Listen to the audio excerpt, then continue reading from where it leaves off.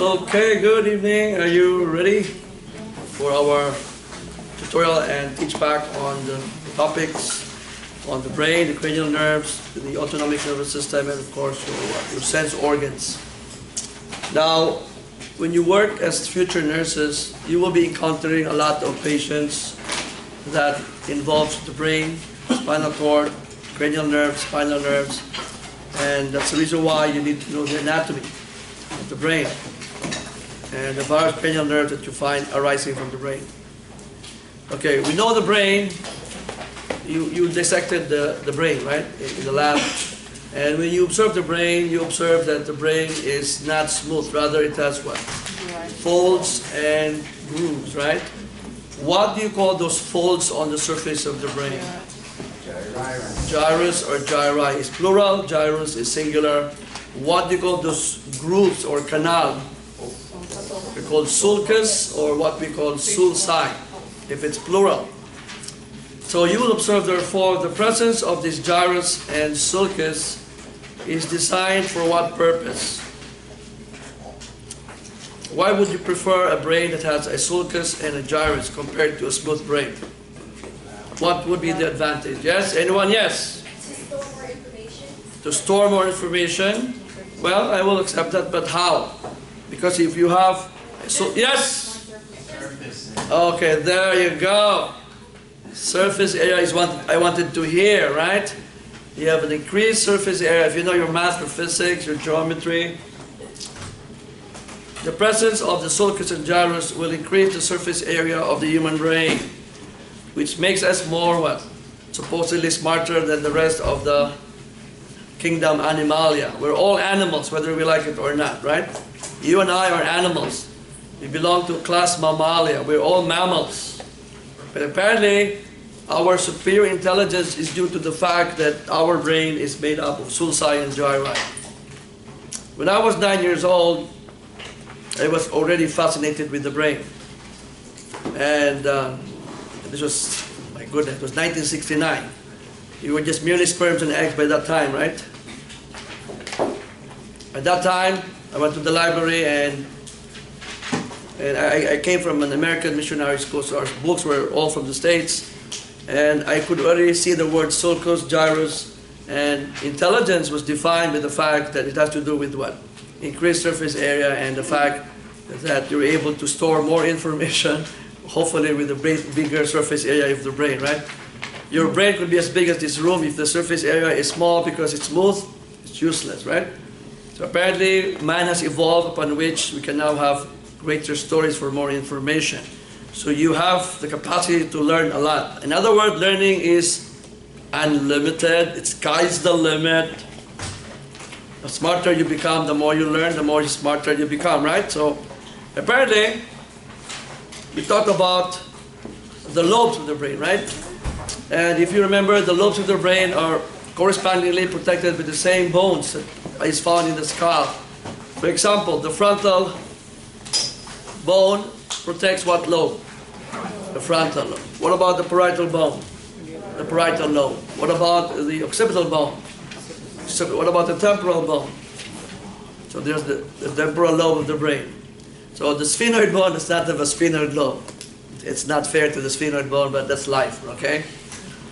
So apparently, we also told, told you that in, in a, a, a, the page in the book, it talks about structure and function, particularly with regards, what is the important role played by the frontal lobe? What is found in the frontal lobe that is important? Yes? Huh? Movement. Movement. Okay, why? What is found in the frontal lobe? What is, yes, Mr. Toledo? Is it the central sulcus or something else? What is found in front of the central sulcus? Huh? Precentral what? Gyrus. So the sulcus is the canal groove. The central sulcus separates the frontal lobe from the parietal lobe.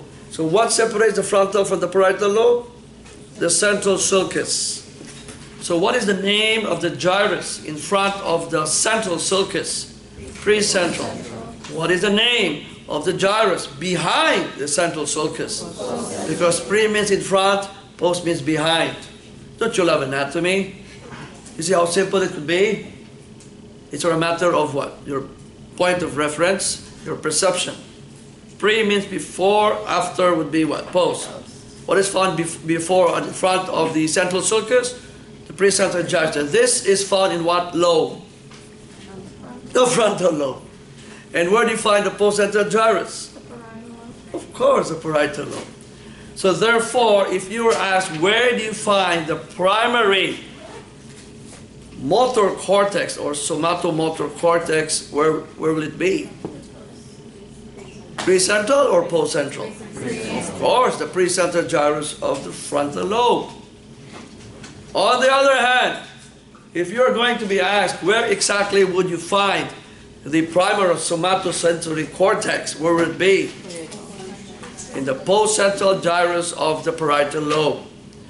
In other words, what I'm trying to show you is that our brain is highly organized. Our brain is divided into different lobes, specific functions. The precentral gyrus, which is found in the frontal lobe, happens to be where you find the primary motor cortex. Motor means movement. Movement means muscle. Which kind of muscle? Skeletal or skeletal? Of course.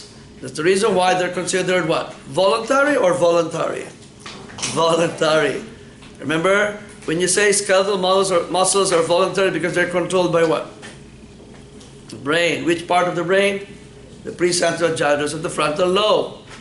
Now, you will also notice that in the, if you cut through the coronal plane of the precentral gyrus of the frontal lobe, what do you see there? You see the word homunculus in your readings? How do you spell homunculus? H O what? Is it Is M U? N C U L U S? Homunculus. What is that referring to? Like a monkey, right? That, that, that, that person lying down on that layer. And you can see that if you look closely there, which has greater representation, the foot or the head? Um, do you know what I'm referring to? Can anybody show me the motor homunculus? Or maybe it's what is the pathways or something. Anyway, the muscles that are found in the leg, the foot, and the face, they're all represented in that motor homunculus. Okay? And apparently, the left side of the brain controls what? The right side of the body. All the skeletal muscles on the right side are controlled by the left side of the brain. On the other hand, the right side of the brain, particularly the frontal lobe, the precentral gyrus, controls what? The left side of the brain, right? Can somebody try to look for that homunculus I was referring to? Can you find that? Homunculus. So what we're trying to show, therefore, is that if you happen to have a stroke, okay, you're gonna take a look. There you go. See this one here? Or maybe it's in a different chapter where you have this uh, different uh, feet, head, hands, and head and motor function. You can see that it talks about the, uh, the different pathways that controls our muscles, and in this case, the sensory pathways, right? What chapter is that? Uh, that was the last chapter on the sensory pathways, right? And motor pathways. The bottom line, therefore, is that's why I was I was a little bit sad with the book because they discussed the pathways before the brain. The brain should have been discussed, then pathways should have been covered, right? So the homunculus, therefore, tells you exactly how this motor function is controlled. Most of the nerve cells or neurons would be found mostly controlling the hand and the head, and the, while the feet, and you can see that it's not as represented quite well. The bottom line, therefore, how is it important for me as a nurse? Well, very simple. When your patient suffer from, when your patient suffers a stroke on the left side of the brain, what gets paralyzed? Contralateral, the opposite side. Can anybody tell me why? Why would that be? Yes? Cross on the brain. What will cross? The pathways coming from the body. It's What, what will cross? the sensory motor pathways. Look, I'm talking about motor only. I'm talking not, not, I don't care about sensory right now. The motor pathways to the motor nerve fibers, Nick. They're like telephone wires. In other words, if you were to kill me today and cut through my frontal lobe, through processing through the precentral gyrus like this, and you remove like this, okay? So this is my left frontal lobe, precentral gyrus. The nerve fibers will go this way, left, and then we're like telephone wires. Where do they go? They cross to the opposite side in what part of the brain? No. Medulla oblongata. And that's part of the brain stem. In other words, the nerve fibers from the left side of the brain will descend, go to the opposite side in the medulla oblongata, and then start to go down on the right side of the spinal cord. And all of them, therefore, all the spinal nerves on the right that will innervate the bicep, triceps, remember? Muscles here of the forearm and the hand, the leg, the thigh, and the foot on the right are actually controlled by what? The left frontal lobe of the brain. Why? Because the nerve fiber tracks, like telephone wires, they will cross on the opposite side and then in the area of the medulla oblongata, which happens to be the last part of the human brain before you have a spinal cord. Okay? It goes down here. On the other hand, same thing happens on the right side of the brain. The right side of the brain, in the motor pathways. These are, all, are they descending pathways or ascending pathways? Motor Descending. Motor or efferent pathways. So right side of the brain goes down on the right. Upon reaching the medulla oblongata, they will dot, cross to the opposite side, and then they're now going to run down on the left side of the spinal cord. And it gives rise to the spinal nerves, controlling all the muscles of the left upper limb and the left lower limb. In other words, if this were a patient who suffers a stroke, a stroke is known as cerebrovascular accident. Don't worry, you'll learn this in pathophysiology with me or in core nursing. A stroke patient is a patient who's paralyzed on half of his body. And this will come out in the nursing board exam. And they will ask you in the nursing board exam if a patient presents with left hemiplegia. Hemi means half, plegia means complete paralysis. H E M I P L E G I A. Which part of the brain is affected? Obviously, the answer would be what? The right side of the brain, the right cerebral hemisphere, and you want to be very specific, it could be the what? The right frontal lobe where you have the precentral gyrus. Or any part of the pathway that goes down there, on the right side. So if you have paralysis on the left side, the lesion is on the right side of the brain. How can you confirm that? By doing a CT scan or an MRI scan. Who will order that? Dr. Gallo will order that. I Just want to be sure, what kind of lesions am I dealing here with? Is it a blood clot that obstructed the flow of blood in the cerebral arteries? Or is it an artery in the brain called cerebral arteries that ruptured? Why? Because of a severe hypertension. How many of you have grandparents here? How many of them have suffered a stroke? Like if, what kind of stroke did your grandparents suffer? I'm not sure, I was too little to remember. You were too little. Okay. Me and my dad suffered a stroke. I was what? Uh, second year resident in my residency training. He was, as people do, what do you normally do early in the morning? You sit on the throne. Is that a Game of Thrones? Sit on the throne and you're going to make poo poo, right? A month before that, I, it's my dad. I said, Dad, I love you. I don't want you to suffer a stroke in my own dialect. And I told him, one of the things that can lead to a stroke would be what? Hypertension. Your blood pressure is high. And if it's really high, what could cause the arteries to burst? You end up with intracerebral bleeding. Of course, I did not say that to my dad because he's not a medical doctor. He's an engineer. So I just, in simple terms, I said, your arteries in your brain could burst. You end up with a stroke. So, to avoid this, I told him to what? High fiber diet. Why? To avoid constipation. What is high fiber? Fruits and vegetables. And in the event that you're constipated, what do you take? A stool softener, or if not, a what? Laxative. The most common would be milk of magnesia. You have suppositories, or you can take oral medications, which are over the counter. And of course, you need to walk, exercise, exercise. One month later, guess what happened? So he sat on the throne, and then he was constipated at 6 in the morning, and he did this. What is that? Bearing down, strain, or what we call Valsalva maneuver. So apparently, his arteries ruptured because her blood pressure probably went up to 220 over 100. And because he was there by himself, he had to kick the door with the stronger leg that was intact, and people brought him to the emergency room. the bottom line was that he suffered a stroke. And what part of the body is affected? The brain. Okay? And he could have died because of that. Because when you have intracerebral bleeding, you end up, there will be accumulation of blood inside the brain.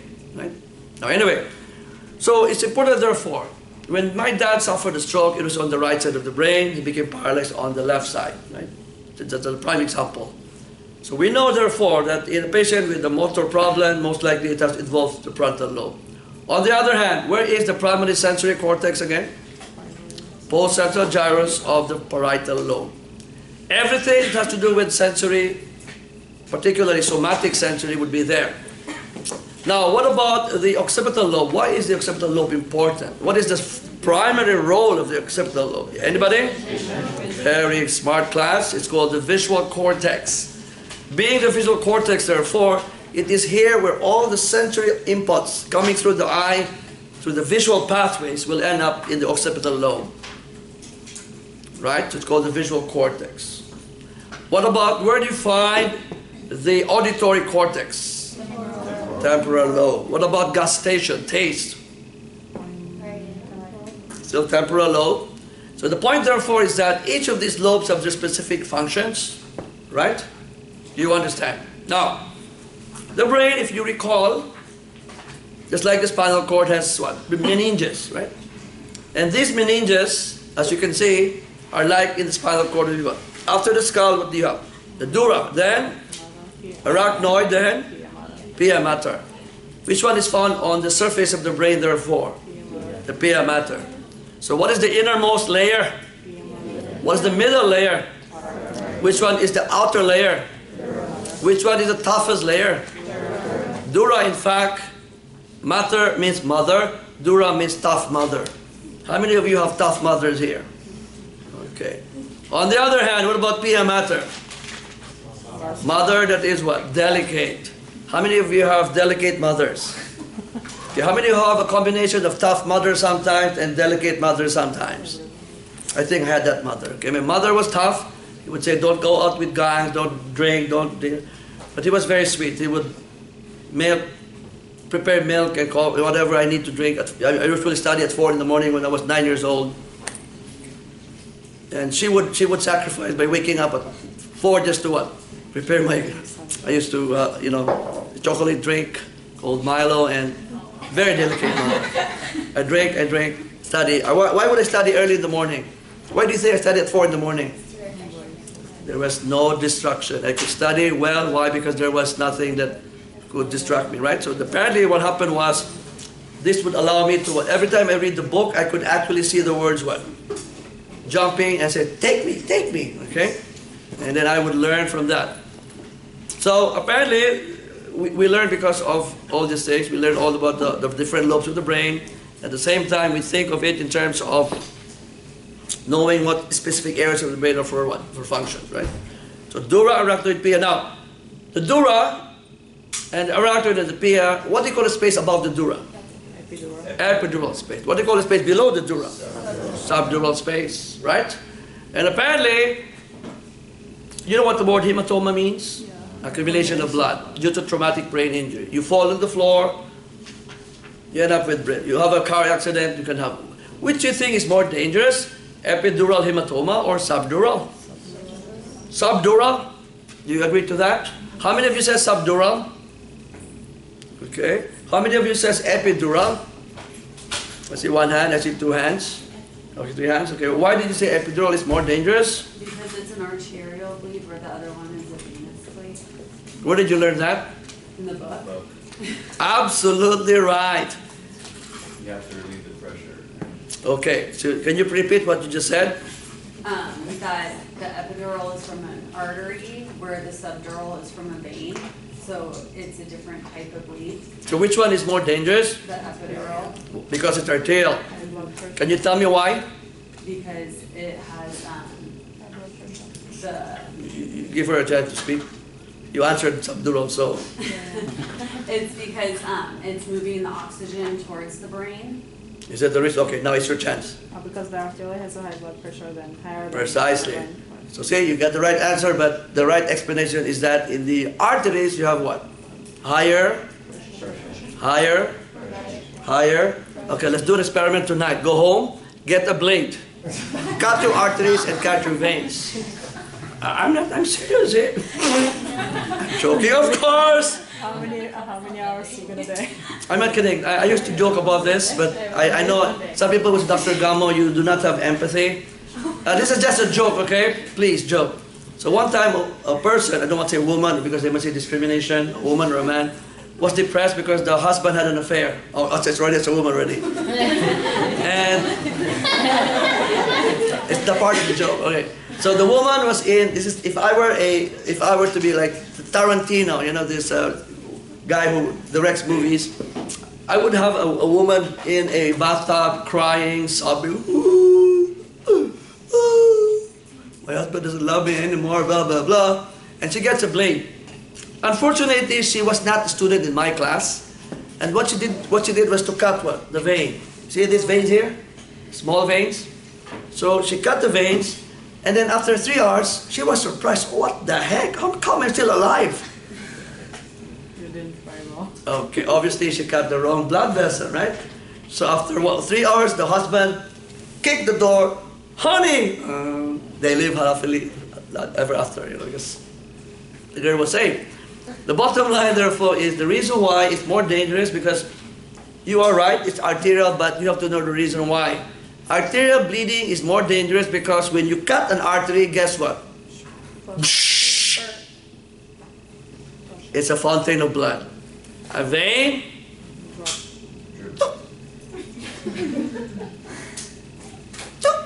No wonder you're still alive after three, three hours. Oh my gosh. So in fact, I, have, I have practiced for 12 years before I migrated here. An old man fell on the nursing home and then he stands up. He's okay, he's fine, he's smiling. And then six months later, you do a CT scan, there is an old subdural hematoma. But he didn't die. How come? The bleeding was so slow, it took six months for it to become seen on a CT scan. On the other hand, my cousin, he was 19 years old. He was driving a motorcycle, no helmet, he took some beer, fell, lost his balance, fell, and the hospital was just, let's say, 500 feet away, a few meters away. He walked towards the emergency room of the hospital, told the nurse, I fell, I have a severe headache. He had projectile vomiting. After 10 minutes, passed out, became comatose. So my cousin sustained what? Epidural hematoma. Unfortunately, it was in 1988, there was no CT scan, no, no MRI scan. So the doctors who admitted him did not know what to do. Now, at that time, he was the son of the governor of our province, they didn't want to touch him because why? If he dies in the operating room, we'll be in deep shit or trouble, right? In fact, what they could have just done, even though there was no CT scan, you go to Home Depot. In the Philippines, there's no Home Depot, but they go to a, a, a store where you can buy a drill. And all they did was what? Drill here, drill here, drill here, drill, and then what? The. Let the blood come out. By draining, you would what?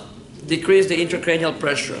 There's a danger of epidural bleeding. Epidural arterial bleeding, you've involved the meningeal art. Isn't it amazing? What's the name of the artery in the meninges? Meningeal. What's the name of the veins? Meningeal veins. Don't you love anatomy? I love anatomy. But the sad story is that because nobody touched him, and then it so happened that my, my aunt and uncle forgot that he had a nephew who was based in residency training, and then two days later they called me, oh my God, my, your cousin fell, blah, blah, blah. So I brought a neurosurgeon there. To cut the story short, the blood no longer went up. There was no CT scan. What can you do? You can actually insert a dye, it's called the white radio opaque dye here in the carotid arteries. And then normally if there is blood flow, what happens is that you insert the dye here, the dye will be what? Going to the blood arteries in the brain like a tree, and you take an x-ray. And it's called an angiogram with the use of an x-ray. In fact, CT scan is a sophisticated x-ray. I hope you don't, I hope you know that. A CT scan is, even though you do not have a CT scan, and if a country you go to does not have a CT scan, all you need to do is insert the dye, and the dye will flow to the arteries of the brain, and then an X-ray, and you can see the white flow of blood. In the case of my cousin, the blood did not go into the brain because there was so much increased intracranial pressure, there was so much brain swelling, right? And what happens if your brain is swollen and it has increased intracranial pressure? This is the skull. The skull is hard, the brain is soft. There's an opening called the foramen magnum. What happens to the brain? It down, it's called brain herniate, herniation, like disc herniation. H E R N I A T I O N. Is that bad or is it very bad? The moment the brain herniates, now remember what I said a while ago, what we call the lowest part of the brain? Medulla oblongata. Above is the medulla, below the spinal cord. If this were the spinal cord, if this were the medulla here, where my ulnar styloid is, this ul- medulla, spinal cord, this is the foramen magnum, right? Made of skull, occipital bone. If the brain herniates, what will the foramen magnum do to the medulla oblongata? Squeeze it, compress it. And the moment you compress the medulla oblongata, what is the primary function of the medulla? Huh? It's the breathing or respiratory center. And what happens if you compress or squeeze the medulla oblongata, which happens to be the respiratory center? You will stop and you will you will rest in six feet under the permanent resident at forest. So what is it that we should avoid? Brain herniation. How do you prevent that? By drilling a drilling a to make the blood get out and be drained to decrease the intracranial pressure. And that's precisely the reason how, why I always bring an electrical drill with me. It's true, I'm, I'm not joking. Even now. If anybody here, God forbid, will fall and sustain an epidural bleeding, I'll be there, ready to drill a hole. How many of you watched that episode on Grey's Anatomy? You so that part where that what's the name of that blonde lady? Yeah, did you see the Uzi, Izzie, or what? Which one? The, the, The episode. Who, who, who did the drilling? Dr. Grey. That's a In the different. airplane? That's different. That's different. That's different. I'm talking about the Grey's Anatomy episode where the with the the woman. What's the name of that intern? Izzie is Uzli is is uh, okay. There was an episode whereby uh, like two or three years ago there was an explosion in I think in the port or something. Oh, yeah. Oh yeah, and this this African American guy could not be brought to the hospital because there was this big, big, big chunk of metal and concrete on top of him. So this intern, Izzie, was asked, go there, take, take a look at all the patients. And when she spoke to this guy, how are you, sir? What's your name? Where do you live? Blah, blah, blah. She was still awake and alert. But let's say five or ten minutes later, he became what? Drowsy. That is the reason why whenever a person has sudden deterioration in the level of consciousness, could you consider a possible traumatic brain injury? So what did, what did this Izzie do? What did she do? Anybody with an electrical drill, right? Yeah. And then I think they just boiled the drill, and then she got the drill and but shh, shh, shh. And guess what? The guy woke up. Did he save the life of that person? Yes. To buy time, right? Because there was no way that they could bring him right away.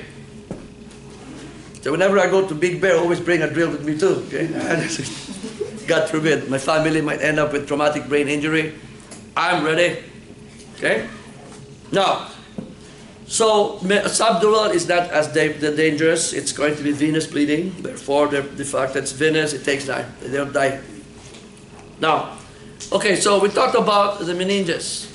What do you find in the subarachnoid space? What? Cerebrospinal fluid. Now, what part produces the cerebrospinal fluid? Yes? What produces the cerebrospinal fluid? The ventricles produce CSF. What are ventricles, by the way? This came out in your midterm exam, augmented reality. What is a ventricle? Huh? A chamber. Chamber that holds. It's a space. So can that chamber produce the CSF? No. Or is it the chamber that contains the CSF? Very good. So think, I want my students to be analytical thinkers. I want my students to be critical thinkers. The ventricles are spaces or chambers that where you can find the cerebrospinal fluid. But what exactly produces your CSF? Huh? Of course. Choroid plexus. Now, what is a choroid plexus? Mr. Boarding, right? What? What is it? The answer is correct again.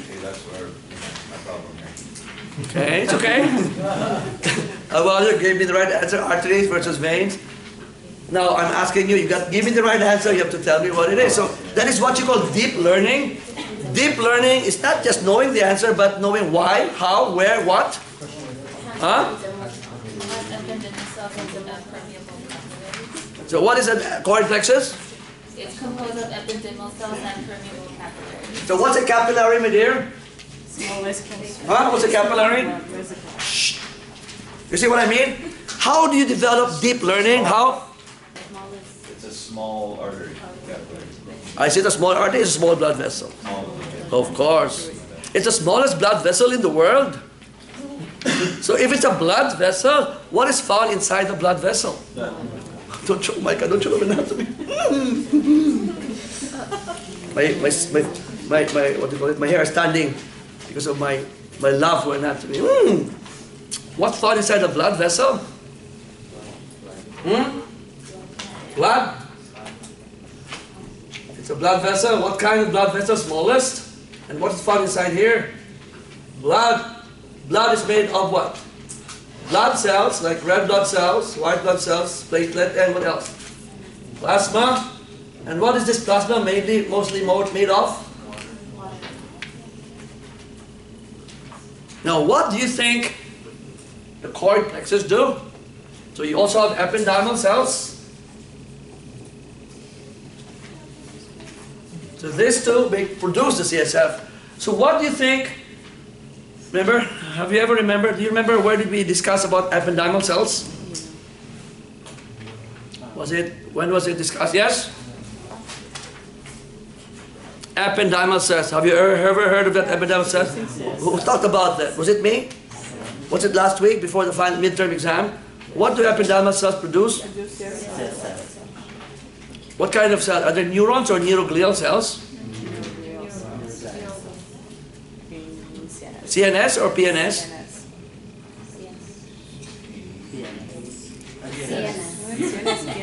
You notice my reaction on my face?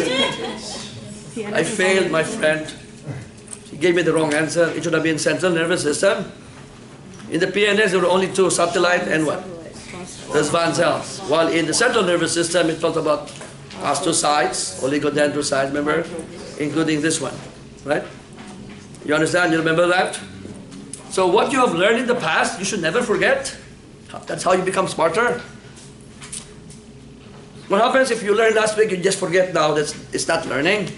And you will be, you will have a difficult time going into physiology and pathophysiology. Okay? Anyway, where do you find this choroid plexus and ependymal cells? Where are they found?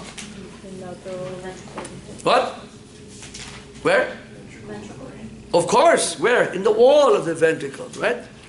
In the wall of the ventricles, you find those choroid plexus. See? Can I show that? That's precisely the reason why, when you look at all these diagrams here, each ventricle has that red thing. Why is that red? Because it says the blood vessel that is found in the blood vessel called capillaries, right? So, in simple terms, what does the capillary do? It filters the blood, removes the water, and converts that into what? CSF. So what does the choroid plexus do? Filters the blood, removes the plasma, which contains water, and that becomes what? The cerebrospinal fluid. So, in terms of the ventricles of the brain, let's start with the topmost. What is the name of that ventricle? Lateral ventricles. How many are there? Left and right. And then it passes where? Interventricular foramen of what? Monro. Right? And what comes after the interventricular foramen of Monro? Hmm? Of course! And then where does it go next? Aqueduct, the cerebral aqueduct, aqueduct of Sylvius, and then and then finally where? fourth ventricle. And what happens after the fourth ventricle? It does. Where does it go? In fact, there is, I think, a, di- a diagram there, right? Where does it go? The central canal. Huh? The central canal. Well, some of them will go to the central canal, but where else? Huh? Before going to the subarachnoid space, did you encounter the word aperture? Okay, Mr. Toledo, tell us please, inform us, enlighten us, what? It's the lateral. And? What is the opposite of lateral? Lateral aperture, the Lateral and what? Median, is that in the book? Did you ever read the book? Hmm? as well as Lateral median aperture, is there? Okay, it goes where? Lateral and what? medial. So, which one is two? Lateral or lateral? lateral. Right and left. Median means only one in the middle. Do you know what the word aperture means? Opening, a passageway, similar to foramen. But you talk about foramen not in this context, rather you use the word apertures. Where do you think will this go? From the apertures, it will go where? Sub, no, subarachnoid space. Mm-hmm. So from here it goes where? Subarachnoid. Subarachnoid space.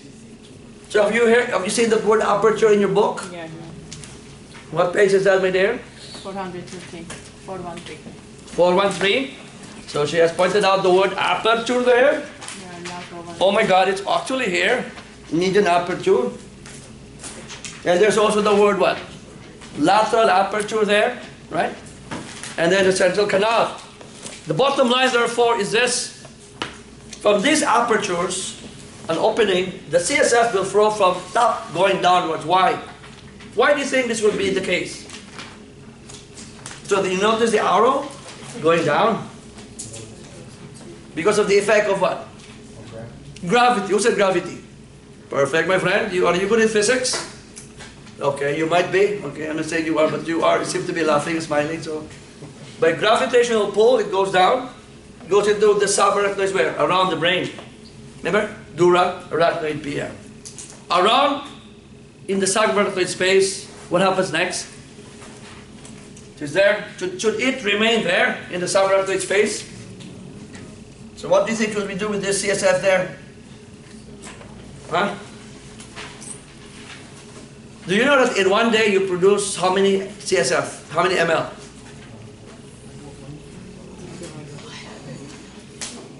It's around 500 ml. Can you imagine every day 500 ml, the following 520, 1,000? So should it stay there or should it be drained?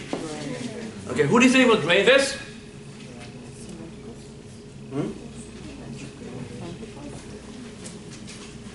They are now in the subarachnoid space. No, no more ventricles, my dear. This is already inside the middle portion of the brain. It's now up here. What's the answer to my question? What will drain the cerebrospinal fluid in the subarachnoid space? Well, I want you to Google that. Give me the answer in five seconds. Yes? Subarachnoid granules. Granulation, but what part of the subarachnoid granulations? It begins with letter V as in victory. Who said that? What's your name? Huh? What is your name? How come you gave me the right answer? Ah, it's on your study guide? Oh shit. Did I give a study guide? Yeah. I did? Oh my god. Can you imagine if you just answered that study guide, you can actually get a perfect score in these quizzes. Did you answer? Oh, can, can, I- can you show me your study guide? Come on. This is cheating before the exam, right? So, I have never, I normally don't give study guides for the past 10 years, but with the blended learning, I had to do it because people, oh my God, Dr. Gamo, I'm overwhelmed. What will I do now? Right here. Okay, so, Uh, come on. Oh, we're on camera? Of course. Oh, so where is it? Right Who, here. who gave you the study guide? You did? I did? Yeah. You sure? Yeah. Okay, what did you do? Why, why, is this, why is this red and why is this blue? because I'm writing what you're telling me right now. Oh, you're right. It's only now. Well, you oh, no, know. that's, that's extra information. Oh, okay. Yeah. So, so where is that arachnoid villi that you're talking about? Right here. So can you please read what is that? Number 11. What is that? Arachnoid. Then granulations, and then of course, what did that? What does it say here? And I wrote what they are. Small protrusions. Okay, very good. So is the villi begin with letter V? Let's give him a big hand. So, do not disappoint me. I hope you get a perfect score today. Maybe one or two too. mistakes. Well, good luck, my friend. Good luck. Thank you. May the force be with you. you see what I'm saying? I gave you everything to study, and you're supposed to know these things by now, right? Because it's all there, my gosh. So where do you think you find the arachnoid villi? In the arachnoid granulations. And where do you think you find the arachnoid granulations? In the arachnoid. Remember dura? Arachnoid? Pia. So on the wall of the arachnoid are the granulation which contains the villi. And what do the villi do? Look at my mouth.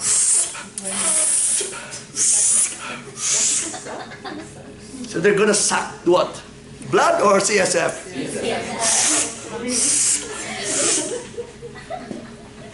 And where do you think will this CSF go once the arachnoid villi go? So now, so learning is not limited to this. Now who knows the answer? Where do you think the CSF being drained by the arachnoid villi? The answer is correct. It's drained by the villi. That means it's everywhere here, right? In, in the subarachnoid space, in the wall of the arachnoid, you have the granulations with the villi, and the villi will what? Drain, remove, remove by. And where does it bring it to? Hmm? Yes? Somebody said something. Wrong. I hope I'm, I'm, I'm limited. Where? Yeah, yeah, I can see it somewhere there. What page is that? Four one zero. This one here. Look for something there. It is made of two words. One word begins with letter V as in victory. The second word begins with letter S. Cerebral brain. Huh? Cerebral brain. V and S. What do you think the V stands for? She said it right. Venous. What about the S? Cerebral. What is S? Oh, spinal. S. Give me an S. Huh? Huh? Uh, what page is that? What is a word that begins with S and ends with S? Systems. Sinus!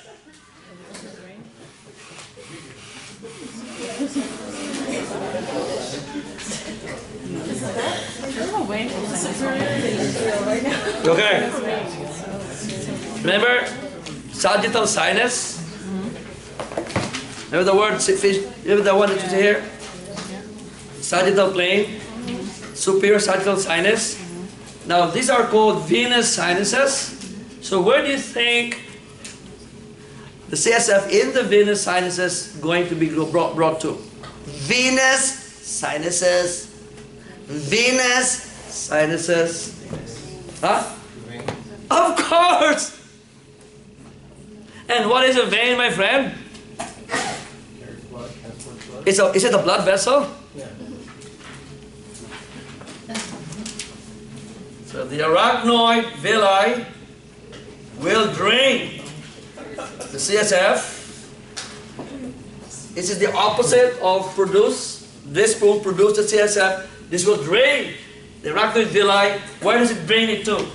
Where does it go? The, the dural, venous, sinuses. And what is a sinus? A sinus, again, like your sinus in here, air space. But here it's what? A space that contains what? CSF. So from the arachnoid villi, the CSF is brought to the venous sinuses, and the dural venous sinuses will bring it where? To the veins. So what that what happens to the CSF that's water? Goes back where? To the blood. Circulation. Is this a process of recycling? To, don't you feel so good? Our body is a big recycling plant. Wow, amazing.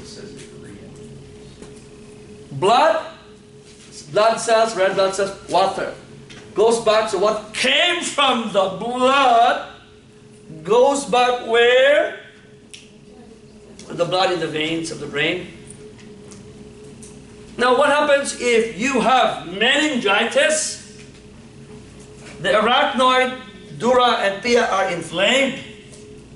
Will this arachnoid in meningitis be able to drain the CSF? That's the reason why you develop what? Eyes, eyes, nose, baby. What do you call that? Hydro what? An infant wherein the sutures have not fused yet. You develop hydrocephalus. Hydro means water because CSF is mostly water. What I'm trying to show here in class is that the knowledge that you acquire from this lecture today will be in preparation for pathophysiology and core, core nursing. You might think, do I need to know it now? I'm just trying to show you that if you know your anatomy and physiology, there is nothing that you cannot answer in nursing, or in fact medicine, or your nursing board exam. And now what do we do with these patients? Have you ever seen those babies with big heads? We put a shunt, we drain one excess fluid in the lateral ventricle under the skin and go into what the peritoneal cavity, which is sterile. So VP shunt, ventricular what? Peritoneal shunt to save the brain of that baby. We do the same thing for adults, by the way.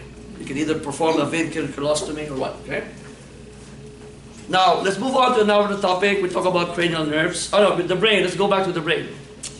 In the brain, you have the diencephalon, made up of what? Epithalamus. Okay, you're raising your hand, give me the answer.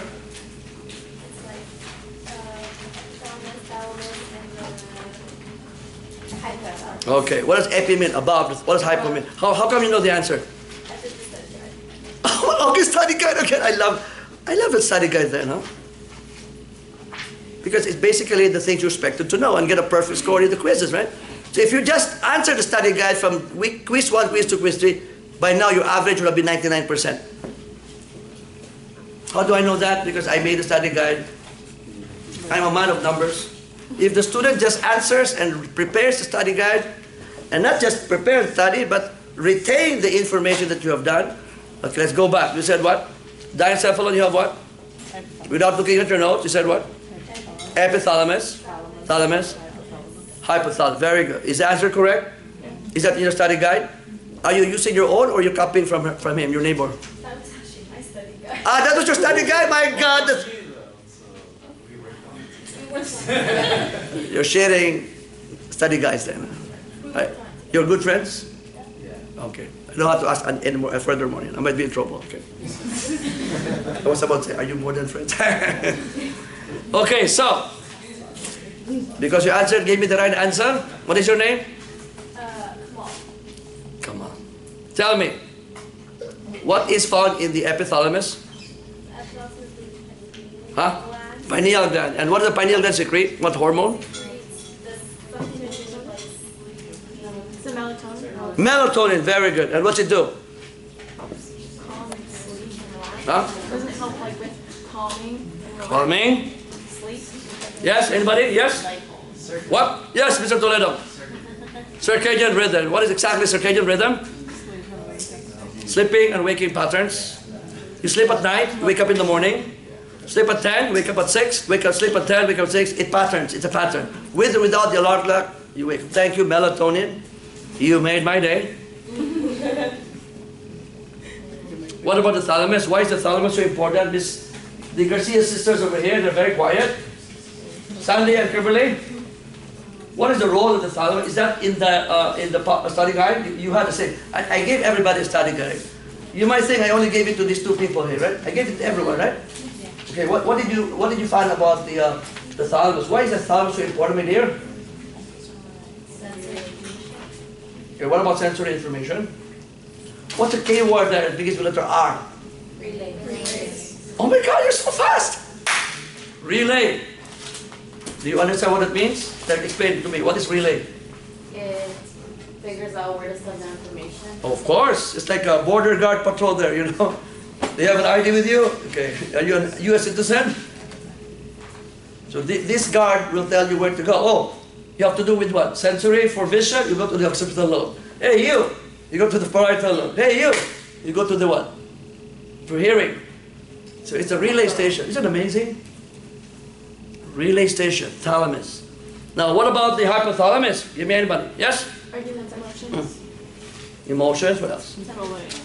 It's actually, for me, it's an amazing area. Emotions, what else? Hormones. Awareness. Okay, most importantly, it's the what?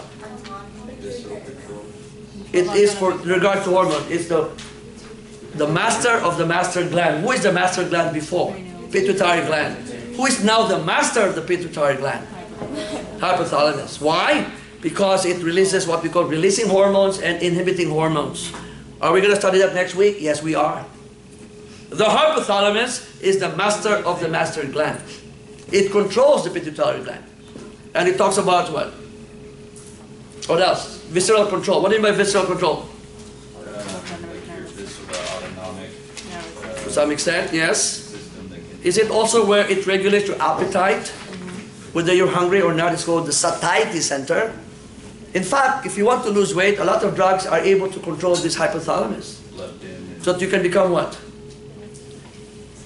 Thinner. In what way? Because your brain will say, hey, I'm already full with one teaspoon of food. So many of these drugs will now affect the hypothalamus because why? It controls your what? Appetite center. It's your satiety center. What else? What's more important among nurses? Especially if the patient is febrile and with high blood, huh? Of course, temperature regulation. In fact, one of the questions in the nursing board, nursing board exam was, a patient was admitted, upon admission, the patient pattern was going up and down, the temperature. And the question was, what part of the brain is affected? The answer is, the answer is, can you imagine that? It came out in the nursing board exam. Is there any question that you couldn't answer? None. If you know your anatomy physiology. Because if you know what is normal, then you know what is what? Abnormal. Okay? Now, what part of the brain is for emotions? Huh? Aside from, yes? What is considered the emotional brain? Hmm? Yes? I'm not sure if I put that in the uh, study guide, but does anybody know? Is it amygdala? Huh? Amygdala? Is it amygdala? Well, that's part of it. What did you call that thing in general? There you go. The limbic system is the emotional brain. Limbic. In fact, how often do we tell people on Valentine's Day, honey, I love you with all my heart? That's stupid. Why? Because the heart is nothing else but a pump. So when you tell somebody, honey, I love you with all my heart, honey, I love you with all my muscular pump. Why do you love it true? Don't you ever say, honey, I love you with all my heart, because that's the most stupid thing to say. Because the heart has nothing to do with the feeling of love or emotional. It's called what? The limbic system. Honey, I love you with all my limbic system. and that is definitely anatomically, physiologically correct. Every time I greet my wife, honey, I love you with all my limbic system. The first time I laid my eyes on my wife, she was working in the lab. I was a fourth year medical student. I opened the door. I was bringing specimens of urine and so for culture. She was there, a ray of sunlight shone on her back, and I told her, Miss, where do I put the specimens of urine and stool? The ray of sunlight went to her face. She was such a beautiful face. she smiled and said, just leave it there. and all I can say was, thank you. and then my heart started to what? But was it the heart? It was what? First the eye. It was love at first sight. The eye went to the limbic system and said, You like her, huh? I went back to the hospital. I told my classmates, there were 10 of us in med school. You have 10 people going through surgery or OB or space. Anyway, I was in internal med. I told my classmates, in life you make things happen, you do not wait for things to happen. So what did I tell my classmates? I said, I told them, from now on, I will be the one to deliver all the specimens of urine and stool. Yes. Next thing I did was one of the interns came from the same place I came from. I told what's the name? What's the phone number of that lady there, the pretty one? Ethel. Phone number. I called my I called Ethel on the phone, I, and I kept on delivering specimen right after a week, and I said, "Hi, Ethel, do you remember me? I'm the one who keeps on bringing the specimens." And she goes, "I don't." that means it only means one thing: I'm not as good looking as Brad Pitt. so I was persistent. That's what you get, persistence, right? She's now my wife of 30 years. But was it the heart or was it the limbic system? The limbic system. Very good. Okay, now, how many cranial nerves do we have? So what's cranial nerve number one? Olfactory sense of? So if anybody who farts in this room, can I tell? I can tell. Yes, yes, you. Okay. Number two, optic nerve. Sense of sight, right? Vision, right? Number three, oculomotor. What is four? Uh, Trochlear. What about, let's jump to six. Abducens, right? So these three are the cranial nerves for the eye muscles. Three, four, and six. Six is important for what? Lateral rectus. Abducens. Remember? In the model of the eye. What about your trochlear? Four. Superior oblique. So six minus two, the remaining four muscles would be what? Oculomotor. What would this be? Superior rectus, inferior rectus, medial rectus, inferior oblique. You should memorize that because part of your thing that you do as a nurse is to do what? A physical neurological assessment of your patients. You want to know if there is what? Lazy eye, you know? Now what about five? What is five? Trigeminal nerve. There are three branches. One branch goes to the what? Eye, ophthalmic branch, maxillary branch, and then what? Mandibular branch. If you have a toothache involving what? The lower teeth, what is the involved? The mandibular branch of the trigeminal nerve. So what are the three branches? Ophthalmic branch, V1, V2, maxillary, and that's V for V for Roman numeral 5 for trigeminal, right? V3 is what? Maxillary, mandibular branch. So that's the one responsible for your toothache. Now, what else? If somebody touches your face, what cranial nerve is involved there? Oh, shucks. Wrong answer. Wrong answer. It's not seven, it's not facial nerve. What is it? Trigeminal nerve, you're the man. See? Sensory, sense of face, touch. V1, V2, V3. Do you understand? Now, what about seven? Seven is for what? Facial muscles. Not the facial sensation. You see the big difference? The muscles of the face for what? Facial expression would be a seven. Facial, what else? Anterior two thirds of the tongue. Sensation of taste. Anterior two thirds of the tongue. What about the posterior one third of the tongue? Nine. And what is nine? Glossopharyngeal nerve. And what about the base of the tongue? Ten. Vagus. In other words, how do you remember this? Put number seven where? In front. Then what? Nine. Then what? Okay, what's the volunteer? Come here. You. Come on. No, I'm just joking. And then every time you're taking the quiz, all you need to do is extend your tongue. Oh, I see number seven. Anterior two third bang. Answer is facial nerve seven. Posterior one third. Nine. Glossopharyngeal nerve. And the base of the tongue is what? Vagus 10. Vagus. Okay, what is 8 for? Vestibulocochlear nerve. What is vestibulo? Sense of hearing and balance or coordination, right? What about your 9? We talked about that. That is what? Posterior one third of the sensation, but certain muscles of the tongue, right? What about 10? Vagus. Vagus is part of what? Parasympathetic autonomic nervous system. So therefore, it's important for what? It's the longest cranial nerve. Why? Because it extends from the medulla all the way to the heart, the lungs, the GI tract. In other words, the vagus nerve is so important. It's the longest cranial nerve, part of parasympathetic. What does it do? The vagus nerve, what does it do to the heart rate? Slow it down. What about the lungs? Bronchoconstriction, the opposite of bronchodilation. What about stomach acid secretion? More acid secretion. To rest and digest. What about the peristalsis? More peristalsis for digestion. So is that important to know? Yes, that's the reason why what do doctors do? If you have hyperacidity with bleeding stomach ulcers, are we going to surgically cut the vagus nerve going to the stomach? Yes, we do. It's called vagotomy. Have you heard of the word vagotomy?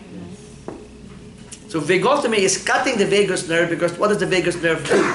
It makes the stomach produce more what? And why is it if you have hyperacidity, is that bad for you? It can lead to stomach what? Ulcers? Can it bleed? Can you bleed to death? So in severe cases, the surgeon will have to cut the vagus nerve. Okay. Now what about 11? Accessory Accessory nerve. It innervates what muscle? Trapezius and sternocleidomastoid. Right. And what about 12? Hypoglossal, glossal tongue. It moves the tongue muscles. Like if I extend my tongue, ah, ah, ah, hypoglossal. Right. Okay. Now, make sure you know these cranial nerves and their functions. Right.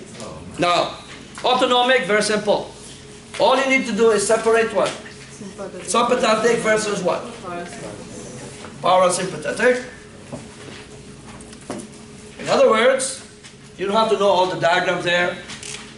Autonomic divided into what? Sympathetic. And then what? Sympathetic and then what? So which among the two is important for survival? Fright, flight, okay. Stress response, sympathetic. So for survival, in order to survive, fright and flight. What do you mean by flight? Run away. If this building is on fire, are we gonna run away? The only problem, is only one one. So what do you think will happen? We'll all be fighting each other just to be the first one to get out. Who do you think will be the first to get out? Of course, maybe me. I have three kids, I have a wife. I don't care who you are. No, I'm just joking. Of course, I'm the teacher. I'll be the last person to get out. I'll be the first one to die. You're my student, so go ahead, go. And I'll just stay here. I want to die. Who wants to die? Nobody, right? So when my sympathetic will kick in, the first thing I'll do is that everybody, leave your stuff, get out. And that'll be the last one. It happened to me one time in the lab. And not to be lab, this happened two years ago. Professor Moore told us about it. Huh? Did, did Dr. Mark? Oh my God! Did, did he, really? You're so stupid of me. So I was doing a lecture, right? So I was in the middle of, I think we're about to end, and I was trying to summarize. I said, and all of a sudden it was around 11:30, and I could see the smoke coming from the ceiling. So I used my chemistry background. I said, you can, oh my God, it's a very good chemical phenomenon. The air is light, it's floating in the air, it's the smoke, and then oh, okay, so you can see the the, uh, the the separation of the molecules of gas molecules, and you know, and then and once so in his in a very simple way, Dr. Gamo, remember if there's smoke, there must be fire. Oh, sh- oh you're right. and believe me, in 30 seconds, the alarm came up. Shh. And okay, everybody get up, leave your butt, leave everything. Everybody left. What did I do? I went to my room to get my laptop. Am I stupid? I was stupid. Why? Because everything was in that laptop. All my lectures. Because I didn't have to about this Google Google Drive. You know the, you know this uh, cloud cloud thing. Everything was there. In my bag, and my bag contains all the the what do you call that thing? The, all my desk and all these things. So, so I said to the, I saw Dr. Moore coming out of the faculty room. I was going in. in fact, you should be going out because you want to save your life. I said, I don't care. I will save my bag first before saving my life. It turned out there was really fire there in that uh, second floor. So next time there's smoke, remind me it's fire, Dr. Gamo. So, what do you think happened to my pupils? Dilate, so that you can see where the fire exit is, right? What else? What about your broncho what? Dilate. Why? To open up the airways, you're gonna more oxygen to the brain, right? What happens to the heart? Increase heart rate or tachycardia. Why? You want to pump more blood where?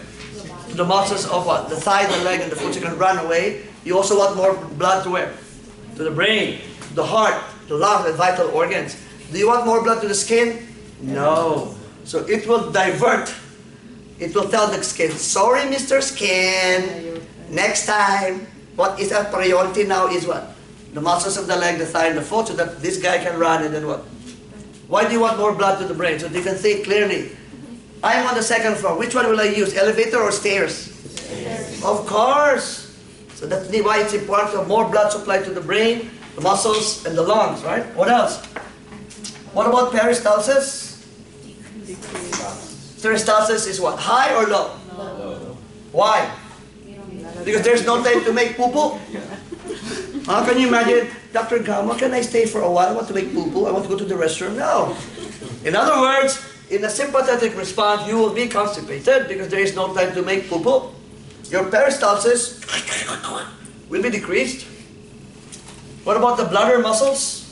The detrusor or bladder, urinary bladder muscles, what happens? Will they contract or relax? Contract or relax? Okay, she said contract, so can you imagine if it contract, you are making wee-wee as you go down the stairs? And all of us will die because all of us will slide? And I'm just kidding. The answer is what? It will relax. Why do you want the muscles in the bladder wall to relax? So they can store the urine temporarily. But the sphincters must be tight, which is skeletal, external. So that because you have no time to make wee wee. So your bladder muscles must relax. And then after one hour, you go look for the nearest McDonald's. Uh, if there's time, you can say meet me with them on the side wall of the parking space. And, and somebody said, Dr. Gamo, what about using that urine to kill the fire? Only for men, though. Joke only, okay. So everything here would be what? Opposite. The opposite. Now, what is amazing here is this. When you think of pharmacology, you think of drugs, those drugs will affect all of these. Example, if I tell the nurse, give the patient a bronchodilator, what is the neurotransmitter here? Adrenaline. Adrenaline or noradrenaline and epinephrine. It's another name is what? Epi, right? If your patient has wheezing, what is wheezing? What happens is that the smooth muscles in the bronchioles are what? Contracting in spasm, bronchospasm. There's narrowing of the airways in a patient who's having an asthmatic attack. Is he having a good time? He could die. So what do you think we'll give the patient? Epi. The form of what? EpiPen. Or, before that, I can give what? Inhaler. And what is that inhaler going to do? Relax the smooth muscles causing bronchodilation. How many of you are asthmatic here? Okay, those who raise their hand, how many of you have your inhalers now with you? Okay, show me your inhaler. Okay, the two of you. You did not raise your hand, you have, did not bring your inhaler? Oh, I ran out. So where is it now? Huh? I ran out. I don't have any more. So if you have an attack now, what happens? Can I borrow your inhaler? Ah, there you go. So let me see, what is yours? I don't have it. Shit, you die. you die, you die, you will be alive. I'm just joking, of course. Yeah. She will then use, after one puff, give it to her, one puff, give it to him. Right?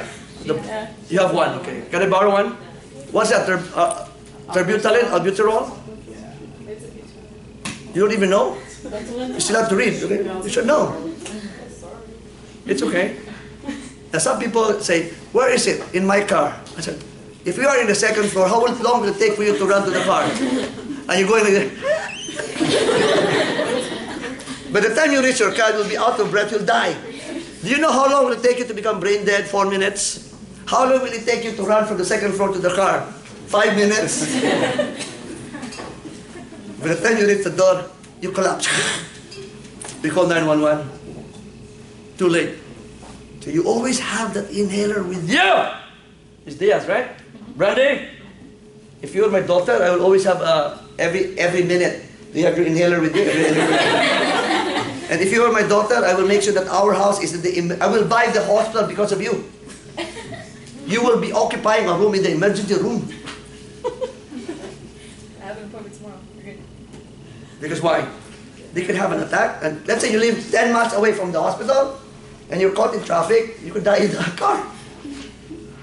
Or if you go to Las Vegas and you have no means of, there's, is there a hospital between Barstow and Vegas? There's none.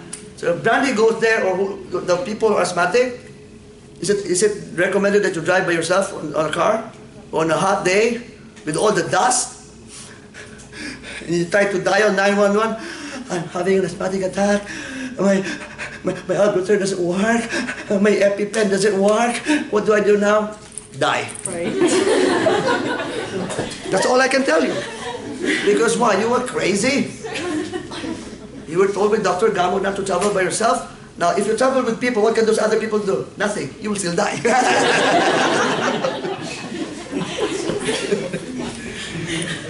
I suggest, again, if you were my kids, I would buy an emergency what? An ambulance. That's like a Las Vegas style of ambulance, you know, all the amenities. You have a movie there. We have a, what? We have all the oxygen tank. we have a, a laryngoscope. And I have to be there with you all the time. So I will perform the in, intubate you, in, intubate, and then what? We have a ventilator inside the ambulance. I have to be ready to take care of my kids. Eh? Can you imagine? I have a built-in ventilator, a breathing machine. I have a, oh my God, that means you will never die in my presence. Okay? So what is the opposite?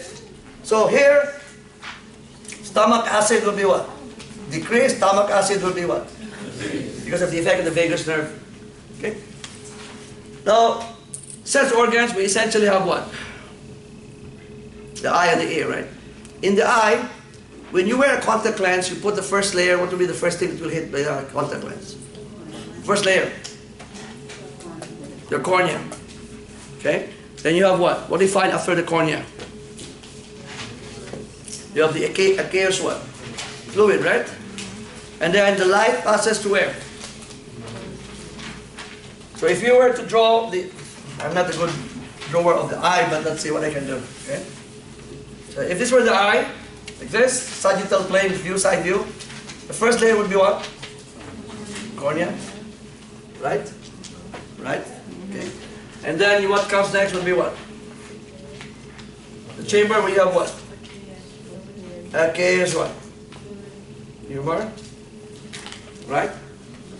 And then you have what? What do you call that muscle that's found here? Iris. Is the iris a muscle? Yes? So you have what? Aqueous humor here, aqueous humor, anterior chamber, posterior chamber, and then what's next? The lens, right? And what attaches the lens here? Ciliary what? Muscle or body, which has the zonules, right? Now the lens, is, is it transparent or is it white? Transparent. The aqueous humor is here. When the light penetrates here, the first eight hits will be what? Cornea. Aqueous humor passes to what? The iris regulates the size of your what? Pupil, right? So the iris muscle has two parts, dilator and what? Constrictor. Now, what are the two muscles that you find inside the eyeball? Iris and then what? Ciliary muscle. They're called intraocular what? Eye muscles. What do you mean by that? Inside the eyeball. What do you call extraocular? Outside. Outside. The, the six rectus and obliques. They were considered what? Extraocular, superior rectus, inferior rectus, lateral rectus, medial rectus, superior oblique, inferior oblique. Extra means outside the eyeball, over here. We saw that in the model upstairs. What about intraocular? Intra means inside. This and this. These are two muscles found there. Now, which one gave the color to your eye? Because it's pigmented. How many of you here have blue eyes? Nobody has blue eyes here? Okay. You have no blue eyes? You have blue eyes? Okay, confirm if it's really blue. Yeah. There we go. It's blue. It's not contact lens. How many of you have green eyes here? Is it blue or green? Green. Are you sure? Okay. You? Check. Is it really green? Okay. Is it not contact lens? Okay, what about you? What's the color of your eye? Brown? Who, has black eyes here? Black eye. I think mine is black and brown, okay? Just like my brown, beautiful, exotic skin, you know. Can you imagine if I was born with blue eyes, with blonde hair, what do you think my father would say? I am not your father! But because my father has brown black eyes, brown skin, I am the son of my father and the son of my mother. Okay? Now, so the iris gives the color to your eye. It will dilate when you are what? In a dark room. The pupil will constrict when you are what? In a bright, bright lighted room like this, right? Okay? Again, sympathetic, dilate, parasympathetic, constrict. Now, what you find behind the lens would be what? Vitreous what? Humor or body.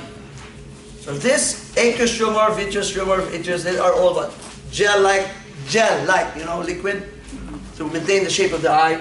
At the back, you have the what? The retina. Okay. Now, what they call the white portion of the eye, the sclera.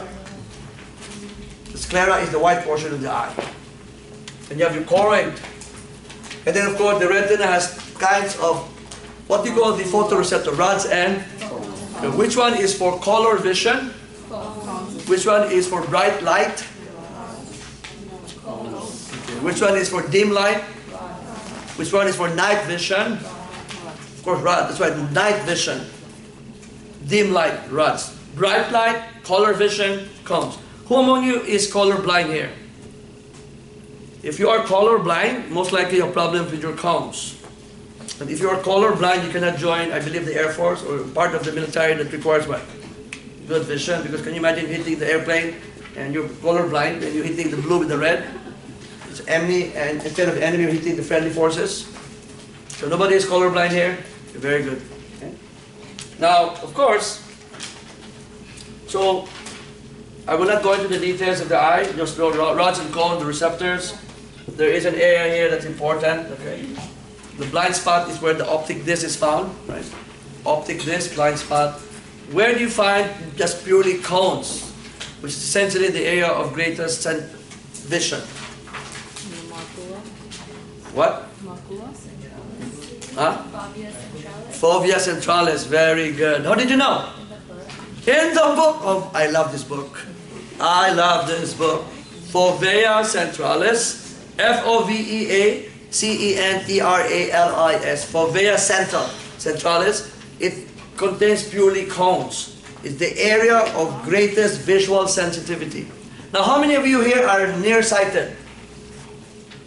Nearsighted. I think most of us wearing glasses like me, right? Okay. When you're nearsighted, it's called myopia, right? You're near what? Nearsighted means for me to see, I have to go what? Go near, close. I am nearsighted. Why? Because I have a long one, A long eyeball. We were gifted by God. Said, okay, you have a long eyeball. Unfortunately, for those who are farsighted, have shorter eyeballs. Not because whoever created you did not want you to have a long eyeball, but what is the opposite of myopia? Hyperopia. Here, long eyeball. Here, what? Short. Okay? In other words, if this is a source of light, okay? If it's a long eyeball, extends all the way here, the uh, problem is that the, the, the center, I think it's in the book where you need a pair of what? Glasses like this, right? So I wear the glasses, guess what? Here, no, blurred. With the glasses, I can see. Because you have to have a pair of glasses to correct the error of refraction. What is refraction? Bending of light. Now let's go to the ear. In the ear, you have inner ear, then what? Middle ear, then what? In, inner ear, middle ear, and external ear. Here, what do you call this part of the ear? Auricle or pinna. And then you have your what? External auditory canal or ear canal. And from the ear canal, the sound waves penetrates what you call the tympanic membrane is your eardrum. And then because of the air or the sound waves entering, the sound waves entering the eardrum, causing it to vibrate, what will be the next structure in the middle ear? In the middle ear, you have the three bones. In the middle ear, malleus, incus, and then what? So the first will be malleus, it will vibrate too. Then incus, it will vibrate too. Then what? Stapes or stapes, will also vibrate. Then hits the oval window, and then cause the fluid there to move. Remember? All the fluid, the endolymph and the parent will move, and then which where, you find the organ of Corti? C O R T I. It's in the what? Letter C. Cochlea or cochlea. Let's say a snail. And what is the nerve? Vestibulo what? Cochlear nerve. Now, what is important for balance or equilibrium? The vestibule. Remember the word vestibule there? That's why it's called vestibulocochlear nerve, right?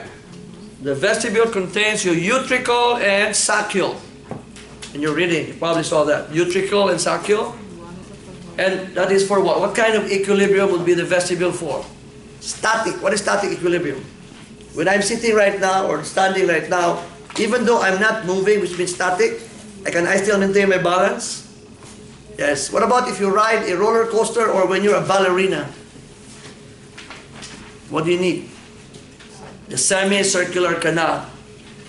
So what is the semicircular canal for? Dynamic what? Equilibrium needed for those people who, you know, the, the dancers, you know, the ballet dancers and these people who's competition on the Olympics, they turn around, they swirl. How is it that they're able to maintain their balance? Because of what? The semicircular canal. So which one is important for dynamic equilibrium? Semicircular canal. Which one is for static equilibrium, just sitting or standing?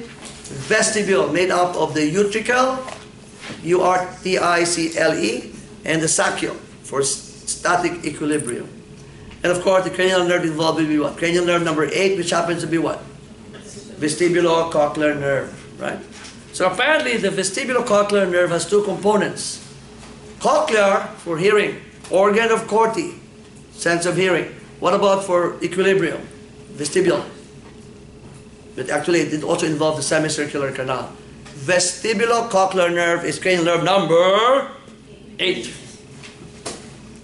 Do you understand? Okay. Vestibulocochlear nerve. Now, what is the receptor? In the eye, it was rods and cones. In the ear, what is it? What am I pointing to? The Hair cells? The hair cells, of course. Can I do that during an exam? No. Hair cell, right? Do you understand? Okay. Is that clear? Okay, I'm going to give you a few minutes to have a go to the restroom, drink a cup of Coke or coffee. After what, we will have our quiz. Okay. Pacific Order.